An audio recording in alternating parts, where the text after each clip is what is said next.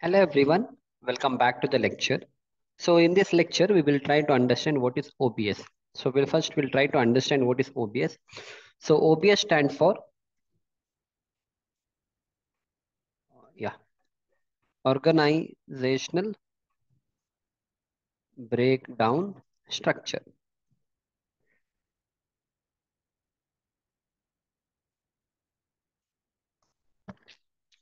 Yeah, it's called as organizational breakdown structure. What exactly is this?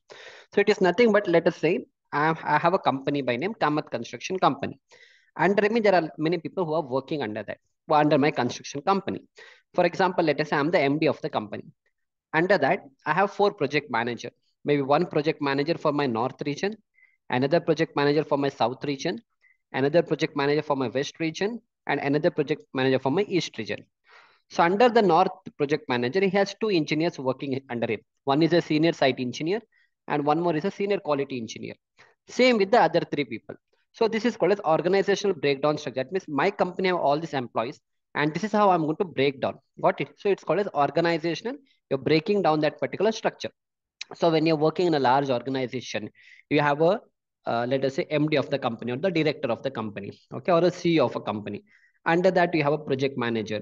Uh, if it's a very big or organization, you have a project manager for the civil work. You have a project manager for a mechanical work. You have a project manager for a uh, electrical work.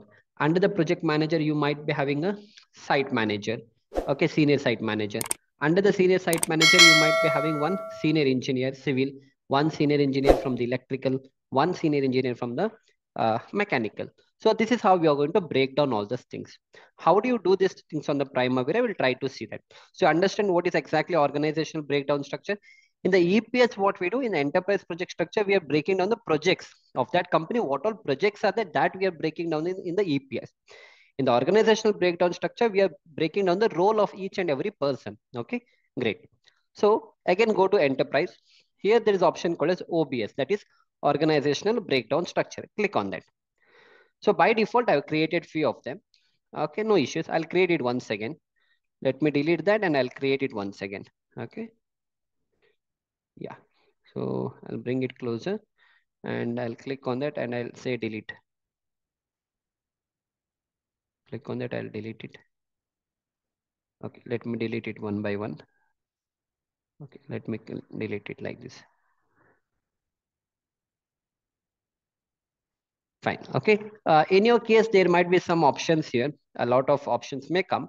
No issue. Select each of them and you delete it from here. Now, let us say I'm the MD of a company or you can write your own name. Okay. MD is Akshay Kamath. So under me, I have four uh, project manager working in four different regions. So I'll add four times. One, two, three, and four. Okay, good. So first I'll write the name. Uh, I'll write his name, project manager project manager. Which region? He is a north region project manager. North region. Okay, a north region. And if you want, you can write his name also. Let us say his name is Amit. Okay, Amit. Fine. Next, we have another project manager. just copy the same thing, Control C, and just type here. Just paste it here. And instead of north region, we'll change it to south region now. Make it to south region. And his name is uh, let us say Vinay. You can take any name, okay? So all these names, it will be available in your company. So a company will have its own uh, organizational breakdown structure. So those things you can take from the company. Uh, you can, if you ask the HR and all, they'll give you all these things. Again, these things will be usually created by the HR and all. Okay, but not an issue. We'll try to understand. Now, north is over, south is over. Next, you go for the west region. West region. So let me say Vishal. Okay. And now we come last one. So East region. East region, let us say Pratik. Got it? So I've got this thing, project manager, north, south, west, and east region. I've given their name also just to identify. Now under the project manager in the north region, we have two engineers working let us say. One is senior site engineer and we have a senior quality engineer. I'll click on this, I'll add two times. But what happened? It has not gone inside the project manager. No, click on this and take it to the right side. click on this and take it to the right side. What happened? Yeah, under the project manager of the North region, these two people are working. Now you will just write it here. Senior site engineer, senior site engineer, and we'll write his name as Gautam. Okay. And here we have one more guy, senior quality quality engineer and his name is Shaker. Okay, great. Now again, same thing here also. In the south region, I'll add two times. I'll add, I'll, I'll make it inside this. I'll click and I'll make it inside this. You copy the same thing from here so that no, you'll just paste it and only the name you're supposed to change. Maybe in the south region, you have a different engineer. For that, under this project manager, you have a senior site engineer. And let us say his name is uh, Naveen. And uh, his and here you copy the same thing. Double click, Control C. And here we name it to Bilal. Understood the concept, no? Same thing. Again, add two times. Uh, I'll just copy the same thing senior quality engineer. Uh, I'll write name as uh, Harshit. And here I'll copy the same thing. Control C and write it here. And write Nagraj. Okay. Yeah, but my senior site engineer uh, should come at the top. No, no issues. We know. Select on that. Take it to the top. Right. Last another two names I need to add. So again, we'll copy and paste it. Senior site engineer. Let us say Reagan. Okay. And here, uh, senior quality engineer. Control C. I'll write one name. Edwin.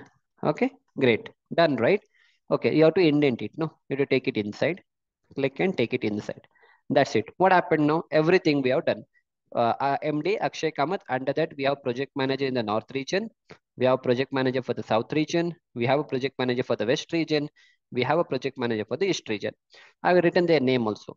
Now, under him, we have senior site engineer, senior quality engineer. So this we have done the organizational breakdown structure. It's a small organizational breakdown structure I have done. Tomorrow, you may work in a large project where you have project manager for the north region. In the project manager for the north region, I'll write it here you may have a project manager and is for the north region. North region. Okay great. But under him you have another let us say three engineer. You have a site manager. We have site manager. He is for the civil. And then you have site manager manager for mechanical and then you have a site manager for electrical. This also can happen. Okay. Right now I didn't do that, bit, but you know how to do that. Electrical. Right. Just you have to add another three column and then you indent it inside the project manager. Now in the site manager in the civil, we have two people. That is one is senior site engineer. Okay, senior site engineer, civil, uh, anyhow it's known. Then we have senior quality engineer. Then there may be a chance you may put another one guy who is a, a senior uh, supervisor. Anything is fine. Depends on your company organization breakdown structure. Understood the concept? No. Same thing under mechanical. Mechanical. Yeah. Same thing under the site manager mechanical you have. Under the electrical also you have. If I copy the same thing, copy control C, I'll put it here. Yeah. Okay, done. This is fine. And here also, let me put that. Yeah, great. Done, no? So understood? This is how the breakdown will happen. So you know how to do all these things, right? Very simple. Project manager under the North region. We have site manager civil, site manager mechanical, site manager electrical. Only for North I have done. Similarly, for the South, you will have West region, East region you will have. So it depends on that.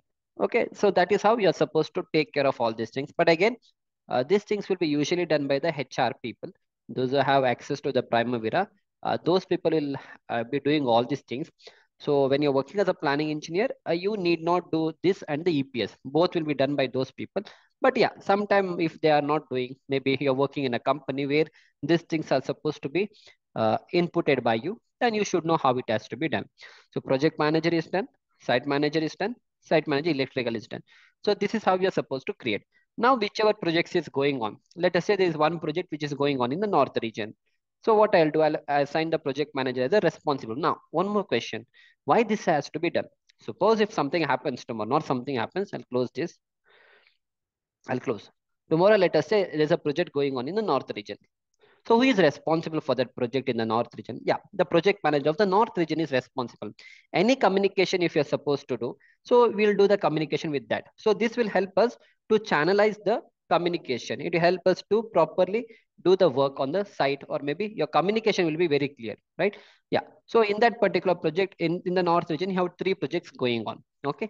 So maybe in the project number one, who is responsible? Of course, North region, this guy is responsible.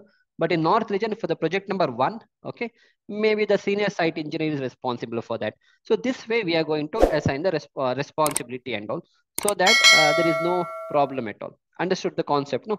So this is how the organizational breakdown structure is to be done. So, so far we understood how to create EPS. We understood how to create OBS, organizational breakdown structure. We understood the entire user interface we also understood how to make certain changes, how to change the font and all. So basic understanding is clear. From the next lecture onwards, we'll try to get into the Primavera concepts.